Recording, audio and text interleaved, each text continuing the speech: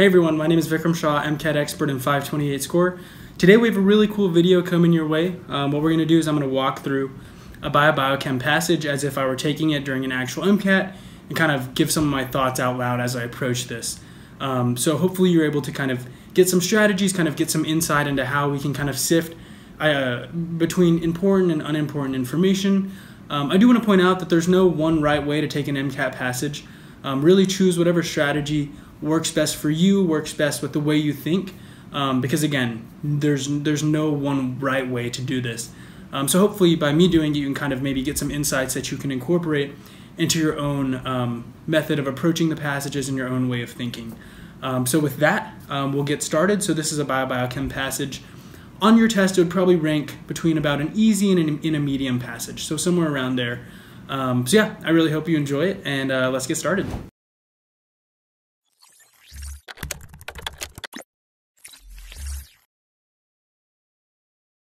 All right, let's get started on this passage. And so, like I mentioned earlier, this is going to be a bio-biochem passage.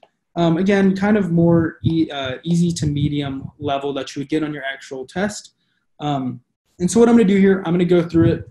I'm going to talk out loud, so I'm not going to take it in the exact um, eight minutes that you should take a bio-biochem passage, or really any science passage for that matter, in.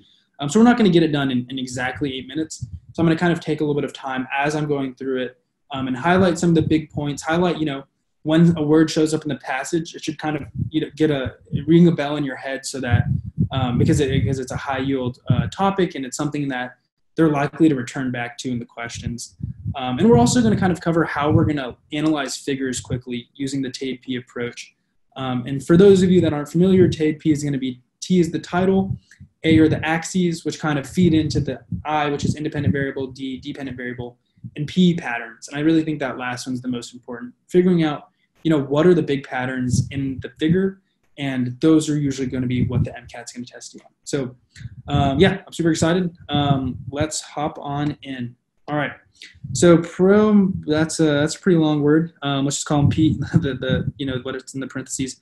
POMC neurons in the arcuate nucleus of the hypothalamus, ARH, control energy homeostasis by sensing hormonal and nutrient cues and activating secondary melanocortin sensing neurons. Researchers identified the expression of a G protein coupled receptor, GPR17, so that seems important. And also important, I think that we're looking at a G protein coupled receptor. So that's a pretty high yield topic. Um, so they might come back to that. Um, in the ARH and hypothesized that it contributes to the regulatory function of POMC neurons on metabolism. Since the, the, the AAMC writes passages by taking a scientific article and just adapting them. Like this literally basically looks like a scientific article. Anytime you hear hypothesis, I usually think that's uh, it's usually pretty important. And so what we're going to do is we can write hypothesis, and let's just kind of draw out the logic of their hypothesis. So they're basically saying that these GPR 17 and POMC are going to contribute to metabolism. Okay, cool. Excuse my handwriting. Um, all right, so in order to test this hypothesis, researchers generated POMC neuron-specific GPR17 knockouts, so PGKO mice, determined their energy and glucose metabolic phenotypes. Um, so that looks like it's going to be our dependent variable. So I always think anytime you know they're throwing an experiment at you, per, it's really good time to highlight those out. Um, on normal chow diet and a high-fat diet, boom, those are our independent variables right? So we're changing their diet, measuring their uh, energy and glucose metabolic phenotypes. In experiment one, we're now getting into the good stuff. Researchers measured body weight and weight gain of wild type and PGKO mice fed on a high fat diet. Body weight was assessed at five months and 10 months after the diet change for adult mice. Results are shown in figure one. All right, so let's apply our TADE-P method. So title, change in body weight and weight gain. So that's going to be our dependent variables, I believe for wild type versus PGKO. PGKO, remember, was our GPR17 knockout. And again, we're hypothesizing that GPR17 plays a role in metabolism. And all of the mice are on a high fat diet. So we're not even looking at this normal chow diet. So let's look at this first part. So our axes, we have the time. So we're changing it between five and 10 months. And we also have um, on this other side, we're, we're changing, you know, wild type versus our GPR17 knockout. On the y-axis, we have our body weight and we have weight gain on the other one. And so anytime y-axis is going to be your dependent variable and, and, and x-axis is always going to be your independent variable. And so now let's get to the really important part. What are our patterns? And so here for, and, and I think on, on the left panel, it's interesting that wild type, you see a pretty big increase in body weight over that five month period, whereas for the PGKO, you're not increasing that much. Um, and so I think what they're literally doing is just taking that increase and plotting it on the right. And so you see a big weight gain for the wild type and a smaller weight gain for PGKO. Um, and it is significant. And I think that's important to remember because they might come back to that. Um, all right, so let's let's continue on. So I think we, we analyzed figure one pretty good. Neuropeptides from POMC neurons are known to play a role in appetite regulation. Alpha MSH is anorexigenic, while the effect of beta endorphin on satiety, satiety is content dependent. The bioavailability of alpha MSH and beta endorphin uh, is partially determined by the expression of POMC and subsequent proteolytic processing by PC1, PC2, and CPE. Researchers measured alpha MSH and beta endorphin, beta endorphin and POMC neuropeptides in the mediobasal hypothalamic samples from mice fed high fat diet for two weeks. Results are shown in figure two. Um, it's kind of a mouthful. Um, essentially, they're looking at these neuropeptides. And so I think, you know, alpha MSH and B beta endorphin are, are um, examples of these neuropeptides that, they're, that are going to be important. Um, so here again, researchers are measuring these neuropeptides. So those are going to be our dependent variable in mice fed this high fat diet. So let's take a look at figure at figure two now. Um, so here it says changes in levels of POMC neuropeptides. Anytime you're you know you're changing that level, it's probably going to be your dependent variable. Um, and so what do we see in in this uh, panel B? Um, so um, axes, right? In axes an independent variable. Let's look at the x-axis. We see male versus female. So those are going to be that's going to be one uh, kind of independent variable, and the other one, which I think is important to point out, and a lot of times experiments will do this, is they'll have kind of two layers of independent variables. Is you also have wild type versus PGKO. So you have male versus female, and then whether or not you have this GPR17 knockout. Um, and then the y-axis, which is always going to be you know your dependent variable, is the levels of these neuropeptides that we talked about earlier, alpha MSH or beta endorphin. Um, and then let's look at our patterns. So really for the males, it's not super interesting. You know, they it looks like they just have lower levels of the neuropeptides, and when they and, and when they have the PGKO knockout, nothing really happens, right? So that's kind of, I mean, that's what I'm, I'm going to take away from from the males here. Um, females here are a bit more interesting. So I think one thing we can note is that they have increased level of the neuropeptides compared to males. So compared to males, and then also the next interesting thing is that we see significance for the wild type versus PGKO condition for females. So for some reason in the PGKO knockout, PGKO um, condition, which I guess is already in the knockout, you have increased neuropeptides. Um, so I think that's a pretty interesting finding. Um, so all right, so now we've uh, we've you know gone through our passage. So let's go ahead and move on to the the questions. Um, all right, so researchers hypothesized that PGKO mice maintain a low weight on a high fat diet by increasing beta oxidation. If that hypothesis is correct, what molecule might they find at a higher level? So this question is, very similar to a lot of MCAT questions in that it's introducing kind of a new study. And so here they're saying that they're maintaining a low weight, right, which is what we saw earlier in figure one. These PGKO mice don't have this big weight gain by increasing beta oxidation. So this is ex- external information. We didn't know this before. A new study telling us this, or a new hypothesis. So now we're supposed to suppose if that's correct, if it is indeed beta oxidation that's really doing, um, helping them maintain this low fat diet, what molecule are they going to find at a higher at a higher level in these wild type uh, than wild type mice? And so we we know from from biochemistry that beta oxidation produces acetyl CoA. And so right off the bat, we can think, hey, answer choice B is looking pretty good. We also know that you can't take fat in humans. You can, I think, in other organisms, but in humans, you can't take fats and net convert them back to, and I guess mammals, since we're looking at mice, not humans. Um, but you can't net convert fatty acids into carbohydrates. And so For that reason, we couldn't undergo gluconeogenesis. So we're not going to have pyruvate, glucose 6 phosphate, or glucose 1 phosphate. And so for that reason, our answer choice is going to be, correct answer here is going to be B. All right, based on figure two, which of the following conclusions is true? Females have higher levels of POMC neurons. So they're measuring neuropeptides, not neurons. So yes, maybe, maybe they just have more neurons, which is why they have more neuropeptides. But you see how we made we made a leap there, and I, you, you can't make that. You can't do that on the MCAT, especially on cars. That's they'll, they'll really get you a lot on cars doing that. Um, PGKO mice produce higher levels of neuropeptides. Um, yes, in the female condition, but not in the male condition. And so, if any part of your answer is wrong, we can't we can't say B, right? A counterexample is males, right? We saw earlier in the male condition, the PGKO knockout is not producing higher levels of neuropeptides. All right, let's go on to the next one. Wild type females have higher levels of alpha MSH than wild type males. Um, so let's look at that. Um, so one thing we said earlier when we analyzed the figures that females have increased neuropeptides compared to males, and we know alpha MSH is measured in this left graph. Um, so let's look and let's see. We're comparing these two. Let me change up my colors here so you can see it.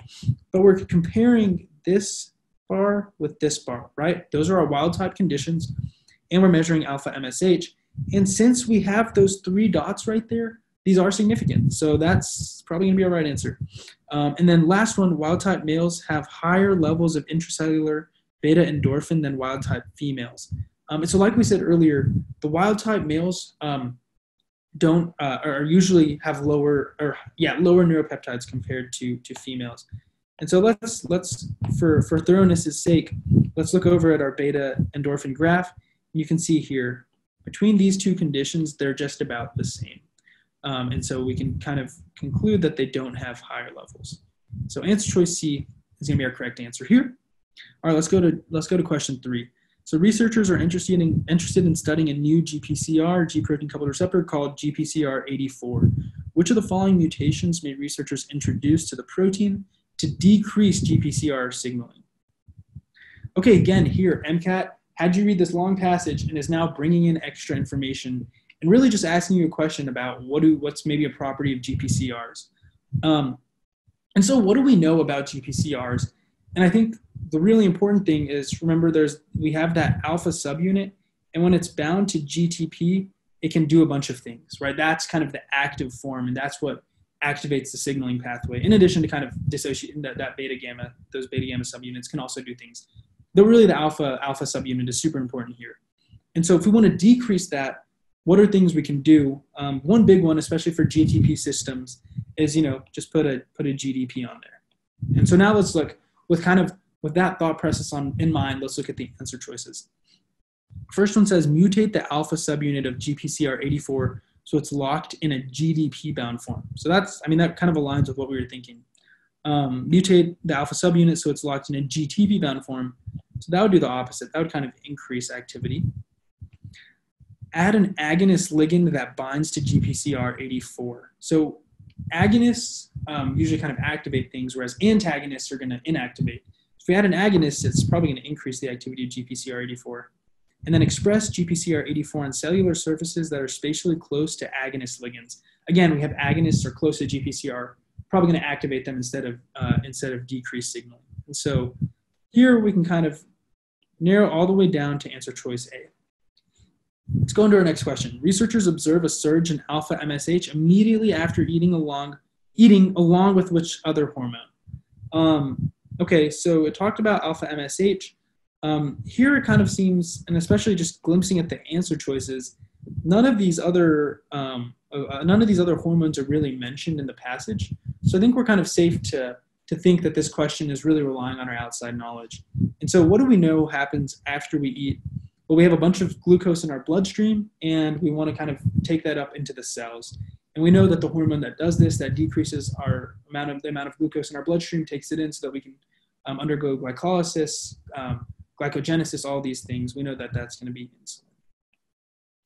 Cool. All right. So this you can kind of see. We had the whole again whole long passage there, but they're kind of asking a question outside, right? They're requiring you to draw in some outside knowledge.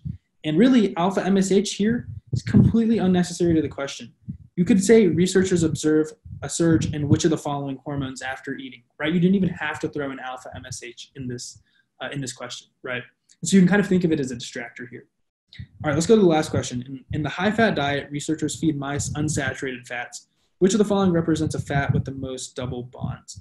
And so while I'm not, I don't really remember all of my fatty acid nomenclature, but I think we can figure this one out. And so um, I believe the first number is the number of carbons, uh, and, and I know the second number, this this number here with the delta behind it, indicates the number of of uh, of double bonds, right?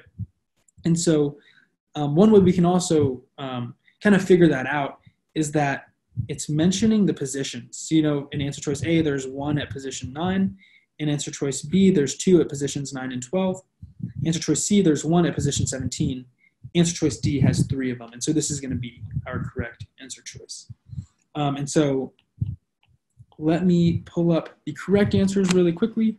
Um, perfect. All right. So looks like we're all set. B, C, A, A, D. And so hopefully um, by going through this passage, you can take away a couple things. One, how it's super important to identify, um, let me highlight the things that we kind of looked at. One, it's super important to identify independent, dependent variables, hypotheses. A lot of times there are going to be more questions about these parts of your, of, of your passage. It's important to draw these dependent, independent variables down back to your graphs, right? And we, I think we did a really good job today analyzing the graphs and seeing exactly what was going on. Um, and thankfully, these were simpler graphs, but the same principles apply for more difficult graphs. And we're going to go through um, some passages later on with more, with more difficult graphs. And again, here at the very bottom, this was a more challenging graph than the first one, and we were able to get through it and take away the really take home points. Um, in addition, as we were going through the answer choices, instead of immediately always looking at the answer choices, we tried to kind of form a mold or an idea of what we thought the answer choice was before then going through and using process of elimination. Um, and in addition, in addition, you can really see how the, the, the MCAT is not necessarily a test of strict content, but it's going to require you to take content from outside and apply it to the passage. See what's useful from your outside, see what's useful from, from the passage, and really combine these combine these things to um, to answer the questions correctly. Um, so yeah, I really hope um, you found this video useful. Again, no one method works for every person, and so I want to encourage you to try to try out everything on your own. Um, try out a bunch of different strategies, see what sticks for you and for your method of thinking. Um, and the last thing I'll leave you with is, um, and again, I've mentioned this before, is um, uh, one of the a, a very famous football coach named Vince Lombardi said, "Practice doesn't make perfect. Perfect practice makes perfect." And so after taking a passage like this, I would really encourage you to come back. If you didn't understand the figures as you were taking the passage, sit down, apply the TAPE method, and really go through them in great detail. Um, and then if you're missing any of the questions, go through the questions, write down what you missed, and then come back and study it so that you don't miss it again, right? You want to approach every new exam with a new body of information. Thank you for watching this video, and if you liked it, I hope you give it a thumbs up or subscribe. And if you'd like to get in every last bit of practice before test day, click the link in our description to sign up for a free MCAT question of the day. Thanks again, and we'll see you next time.